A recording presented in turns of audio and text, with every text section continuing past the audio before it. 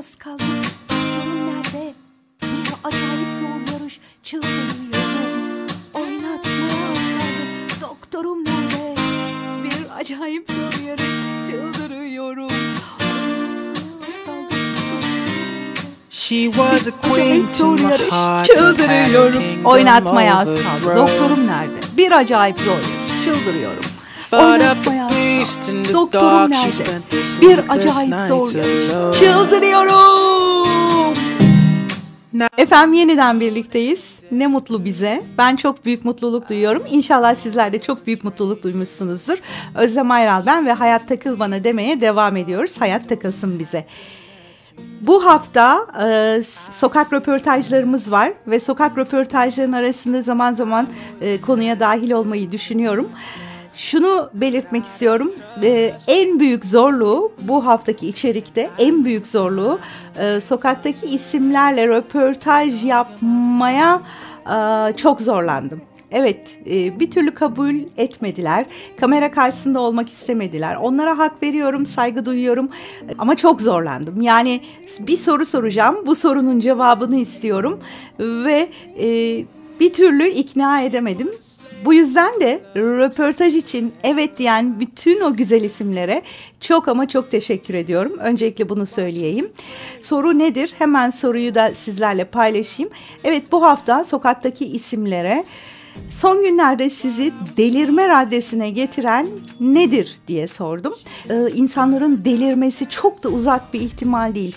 Küçücük bir kırık, küçücük bir çatlak, bütün birikimler ve o küçücük çatlağın kocaman bir yarık olması insanı hayattan ve e, kendi doğal yapısından uzağa düşürebilir.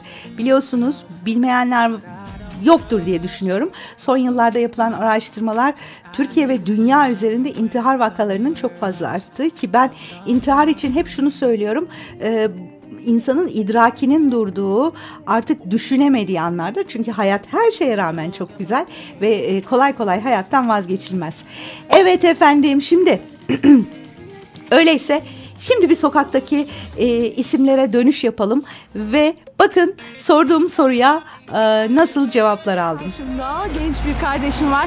Evet soruyu ona da yöneltiyorum. Son zamanlarda seni en çok delirten ne? Abi, Başka var mı? Abimden başka yok ya. Teşekkür ederim verdiğin cevap için. Görüşürüz. Merhabalar nasılsın? Teşekkür ederim Özlem Hanım. Siz nasılsınız? Ben deyim teşekkür ederim. Şimdi sana o meşhur soruyu soruyorum. Son zamanlarda seni en çok ne delirtiyor? Ekonomimiz Peki bunun dışında özel bir şey var mı seni delirten? bunun dışında özel bir şey yok ya. Aa çok Hayatımız güzel. iş iş olduğu için. Süper. Beni delirten Çok ekonomi. teşekkür ederim verdiğin cevap için. teşekkür ederim. Görüşürüz. Hoşça kal. Sağ olun. Burada bir araya girmek istiyorum. Ee, Bir programda kulak misafiri oldum ve e, çok enteresan bir cümleydi. Artık öyle bir döneme geldik ki birilerinin mutluluğundan mutsuzluk duyabiliyoruz. Birileri mutluysa mutsuz oluyoruz ve onlarla alakalı e, çok ciddi eylemlerimiz oluyor onları da mutsuz etmek adına. Şimdi e, etrafa baktığımız zaman gördüğümüz şey gerçekten de hani sorduğum soru e, son günlerde sizi delirme noktasına getiren nedir? Evet, abim cevaplardan bir tanesi çok güldüm gerçekten de teşekkür ediyorum. Ee, ve sonrasında ekonomik kriz ki bu son günlerde gerçekten birçok insanın delirme sınırına getiren bir durum Türkiye'de özellikle Türkiye'de. İzlemeye devam edelim. Evet kayıttayız. Daikin'deyiz. Daikin e, benim en sevdiğim markalardan. Reklamda sokalım araya. Kış geliyor. Eğer klimaya ihtiyacınız varsa Daikin olmalı. Ben öyle diyorum. Tekrar merhabalar. Evet sevgili Pınar'ın yanındayım. Aynı soruyu şimdi Pınar'a da soracağım. Pınar merhaba. Merhaba. Nasılsın? İyiyim, siz nasılsınız? Ben de iyiyim. Seni gördüm Hoş daha iyi oldum. tekrar. Teşekkür ederim. Pekala Pınar'cığım o dehşet soruyu sana da soruyorum. Son günlerde seni en çok delirten nedir? Riyakarlık. Riyakarlık. İnsanların birbirleriyle olan bağlarında dürüstlük yok. Genel itibariyle. Evet. Demek ki insan ilişkilerinden biraz şikayetçisin. Çok teşekkür ediyorum. Ayırdığın vakit için. Görüşürüz. Evet şöyle birazcık daha çekeyim. Ee, ve sonrasında yol almaya devam ediyoruz. Pınar'la uzun uzun konuştuk aslında. Yani röportaj öncesi ben sadece röportaj için gitmiştim ama Pınar'ın e, sohbetine doyum olmaz. Pınar'a buradan el sallıyorum ve çok teşekkür ediyorum yardımlarından dolayı.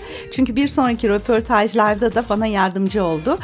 E, Pınar'la çok uzun uzun konuştuk ve bana şunu söyledi. E, beni konuşturma ben bu konuda çok dertliyim. Çok fazla beni delirten şey var ama genel itibariyle riyakarlıktan nefret ediyorum dedi. Neden bu kadar riyakar oldu insanlar? Riyakarlığa bir gerek yok ki. Yani neden...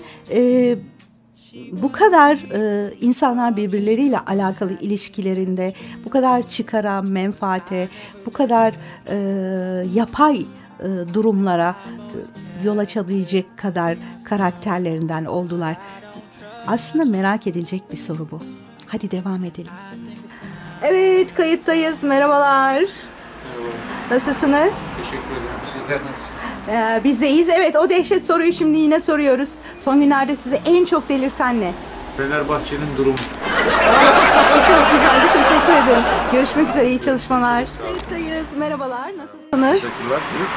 Ben deyim. Çok teşekkür ediyorum. Evet şimdi o dehşet soruyu size de soruyoruz. Son zamanlarda sizi en çok delirten nedir? Murat Kutsal denen arkadaş. Kimdir bu Murat Kutsal?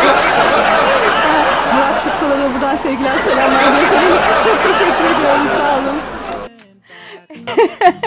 en çok güldüğüm röportajlardan ikisiydi. Gerçekten oradaki arkadaşlarıma buradan sevgiler, selamlar e, söylüyorum. E, sizi en çok son zamanlarda ne delirtti? Fenerbahçe delirtmiş. E, bu çok beni güldüren cevaplardan bir tanesiydi. Ve ikincisi bir iş arkadaşının ismini verdi. Kendisine söz hakkı tanıdık ama kendisi konuşmak istemedi konuya dair. Ve e, bu kadar dürüstçe iş arkadaşıyla ilgili beni delirtiyor diyebilmesi de hakikaten muhteşem güzeldi. Teşekkür ediyorum o iki genç arkadaşıma. Kolay gelsin diyorum. Evet devam edelim. Bak mesela şunu konuşabilirsin. Hani bu çekingen olmak da bir sorun toplumda. Hani insanların atılgan olması gerekiyor. Ki ben bunu hayatımda çok yaşıyorum. Hani çok çekingen de değilim Allah aşkına. Aşırı böyle kısır bir insan değilim ama e, mesela çok fazla fırsata elimle teptiğim oldu. Sırf bu yüzden. Duydunuz değil mi? Çektin mi? Evet, çekingen insanlardan çekingenlikle alakalı bir içerik hazırlayacağız. Anlaşıldı. O zaman sana soruyu soruyoruz. Diyoruz ki delirme sınırına ne getiriyor seni son zamanlarda? Hiçbir şeyden memnun olmayan insanlar. Özellikle yaşlılar. Eyvallah olsun.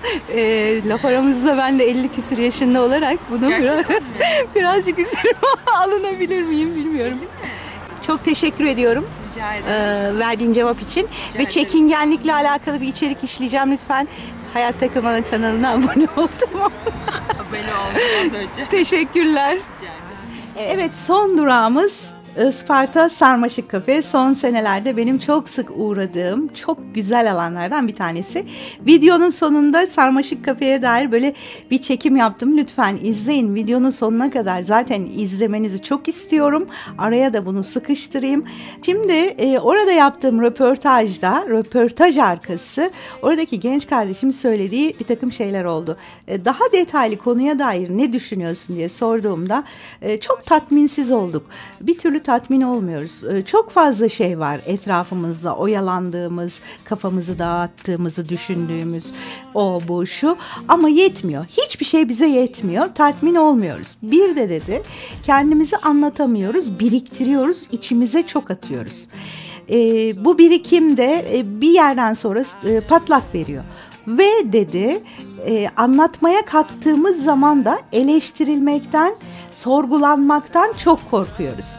Buradan ona da sevgilerimi selamlarımı iletiyorum. Onunla da epey sohbet ettik. Sarmaşık Kafede o genç kardeşimin söylediği gerçekten de konuya nokta vurdu. Benim sokak röportajlarında sorduğumda anlaşılan şuydu. Ben aslında bambaşka bir şey sormuştum.